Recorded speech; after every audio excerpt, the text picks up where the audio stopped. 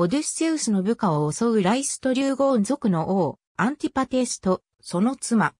ライストリューゴーン族はギリシア神話に登場する人食い種族である。長母音を省略してライストリュゴン族、ライストリュゴネスとも表記される。ライストリューゴーン族は人間というより巨人に近く巨大な体と怪力を持ち残虐で人を食らったと言われる。オデュッセウスはトロイアから帰国する途中、アイオロスの島に次いでアンティパテース王が支配するライストリューゴーン族の国を訪れた。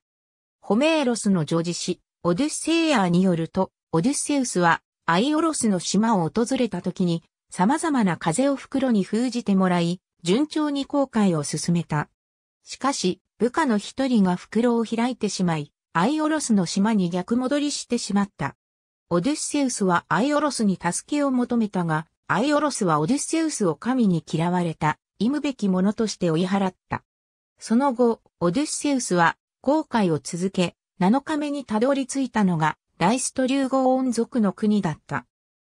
この土地は天にある昼の通る通路と夜の通る通路の間がとても狭かったので、夜に牧場から帰る者と朝に牧場へ出かける者とが挨拶を交わすという珍しいことが起こり、眠らなくても平気な者は1日のうちに牛の世話と羊の世話ができるので、二人分の仕事ができたという。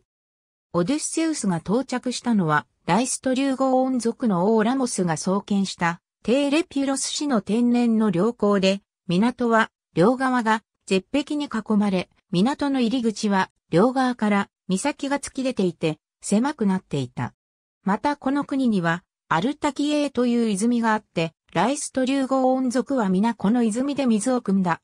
オデュッセウスはテーレピュロスの港に入ると、港の一番外側に船団を停泊させ、岸壁を登って遠方を見渡した。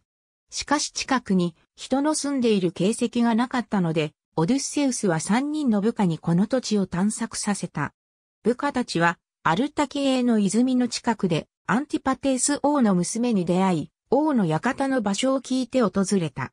ところが、アンティパテースは部下たちを見ると、すぐに一人を捕まえて料理し、食べてしまった。残った部下たちが驚いて、船に逃げ戻ると、アンティパテースは大声で、ライストリューゴーン族を集め、オデュッセウスの船団を攻撃させた。彼らは大きな岩を投げつけて船を次々に粉砕し、オデュッセウスの部下たちを串刺しにして食料として持ち帰った。オデュッセウスは慌てて船を出港させたが、オデュッセウスの船しか残らなかった。なお、後世になると、ライストリューゴーン族の国は、シケリア島、あるいは、イタリアのカンパーニア地方のフォルミアイであるとされた。ありがとうございます。